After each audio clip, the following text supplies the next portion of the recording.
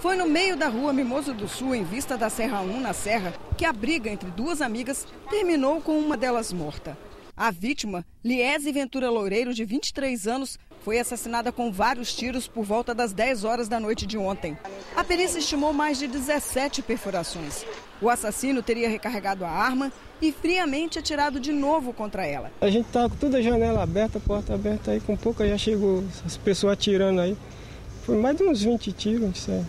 Os tiros também foram ouvidos pela mãe da vítima. É que o crime aconteceu em frente à casa delas. Quando eu saí de casa, estava morta aqui já. A senhora chegou a ouvir os tiros? Ouvi. Liese havia acabado de deixar o filho de dois anos em casa para ir com o namorado a um bar.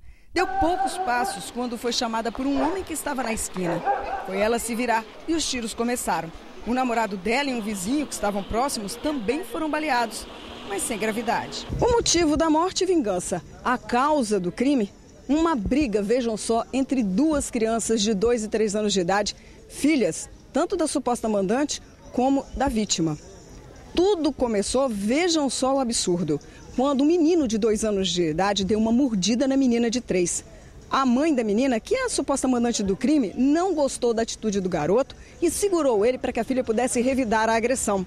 Liege, que é a mãe do menino, também não gostou dessa atitude não. E a briga, que até então estava só entre as duas criancinhas, passou para as mães e terminou nessa tragédia. Um bateu no outro e a mãe segurou para para a filha dela bater no meu neto. A mandante do crime segurou o seu neto? É. E a mãe dele não gostou? Não. Aí eles viviam brigando assim, só que brigando mesmo de criança assim. Aí Nada elas, grave, né? Nada grave. Elas discutiam, depois paravam, normal.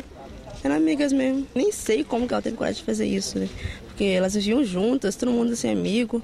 Ela nunca chegou... Pegou todo mundo de surpresa? De surpresa não, porque elas tinham brigado no dia antes, né? E falou mesmo que ia matar a Liese. Ela pegou e saiu gritando, falou que ia matar ela, saiu aqui na rua e falou assim, ligando pros caras, falou assim, que um tiro não ia adiantar, tinha que ser vários. Na briga das duas, a vítima teria chutado a barriga da suposta mandante, que está grávida de cinco meses, o que teria acirrado ainda mais os ânimos. Ela falou assim que ia matar ela, que se ela continuasse ia matar ela, que ela estava com os dias contados, mandou mensagem para ela também. Dona Miriam recebeu esse torpedo. É da suposta mandante que fugiu do local para um outro município após o crime. Nele, ela pede desculpas. Alega não ter nada a ver com o que houve. Pede perdão.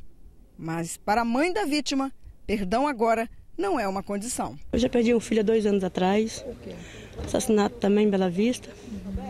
De 22 anos. Hoje em dia eu perdoo quem matou. Ele. Mas ela é diferente. Ela morava dentro da casa dela. Diferente. Eu criei um filho dela. Eu tinha ela como uma sobrinha. E ela veio fazer, é, veio fazer isso.